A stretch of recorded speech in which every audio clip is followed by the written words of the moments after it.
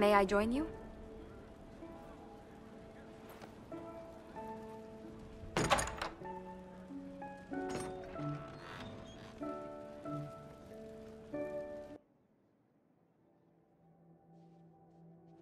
I wanted to catch you.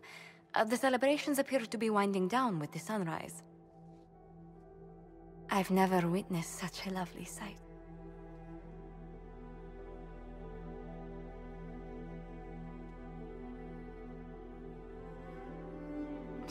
That's love. That's... Whatever awaits, I would never...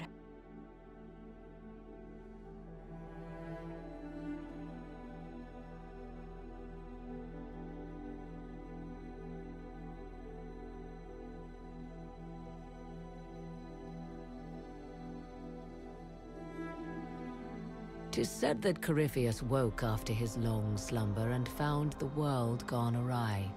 He fought to bring back those days of magic and shadow, to raise himself as a god and set things right. Now, we are left with a scar in the sky to remind us of what almost was.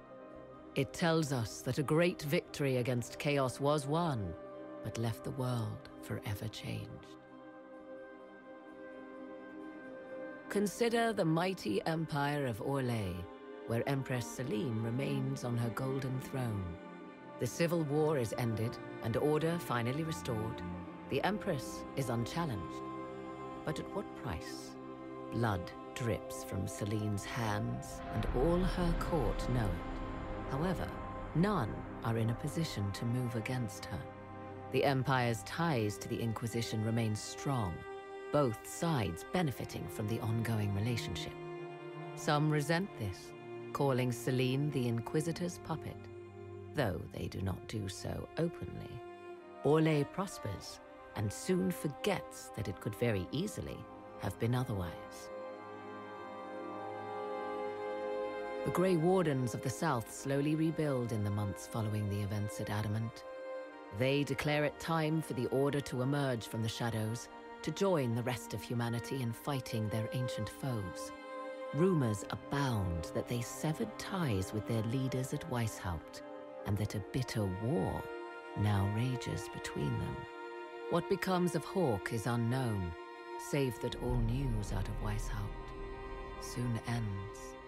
Does the sudden silence indicate a battle within, or something far worse? One month after the defeat of Corypheus, the Chantry names Cassandra as successor to the Sunburst throne. Given the name Divine Victoria, she immediately enacts reform, a new Templar order, and a new Circle of Magi. The Seekers of Truth are rededicated to their purpose of protecting the innocent. A proclamation of support for the Inquisition is issued, recognizing its service to all of Thedas.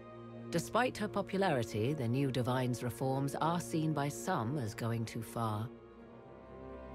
Those Templars of the Inquisition who were recruited at Therinfal Redoubt are left with a choice. Many follow in the footsteps of Commander Cullen, going through the slow and agonizing process of lyrium withdrawal. When the Divine reforms the Templar Order, they elect to remain with the Inquisition under Cullen's command.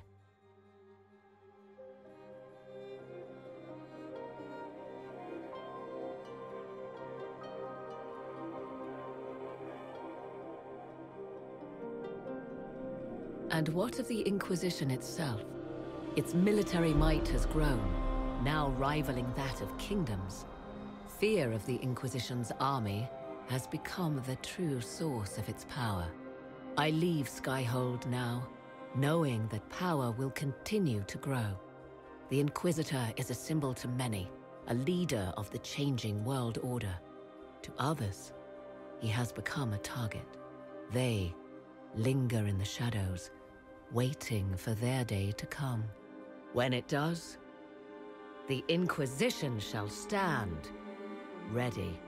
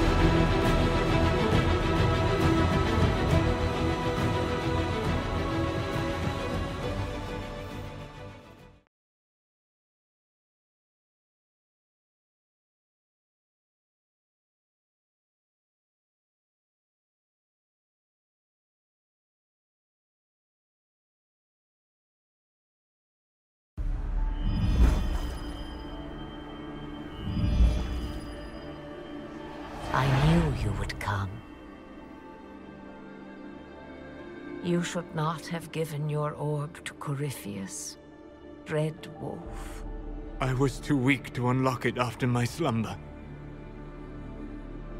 The failure was mine. I should pay the price. But the people... They need me.